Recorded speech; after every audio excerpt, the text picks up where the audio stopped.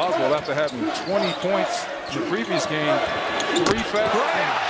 No points this game, and Brea gets going for three.